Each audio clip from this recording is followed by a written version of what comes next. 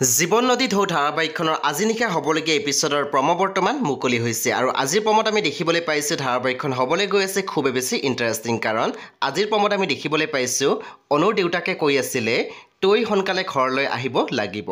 তাৰপিছতে অনুৱে দেউতাকক মাত দিছে আৰু ছয় সাত মাহ চকুৰ পলকতে শেষ হৈ যাব। পুনৰ অনুৰ দেউতাকে কৈ আছিলে সৰুৰ পৰা তুলি তালি ডাঙৰ দীঘল কৰিলো কষ্ট কৰিলো। সেইবিলাক কষ্ট একো কষ্ট নহয়। ল'ৰাজন পাই তাইৰ আপোন হৈ গ'ল। তাৰপিছতে আমি দেখিবলৈ পাইছোঁ অনুৰ দেউতাকক ফোনত কৈ আছিলে সি কিন্তু আপোনাৰ মূৰৰ ওপৰত উঠি নাচিব। তাৰপিছতে অনুৰ দেউতাকে মাত দিছিলে যে আৰু কাক মূৰৰ পৰা কেনেকৈ নমাব লাগে সেইটো কথা ৰজত গোস্বামীয়ে ভালকৈ জানে। আপুনি আপোনাৰ চিন্তা কৰক। চ' বন্ধু বান্ধৱীসকল আজি নিশা ন বজাত আহিবলগীয়া জীৱন নদী ঢৌ ধাৰাবাহিকখন।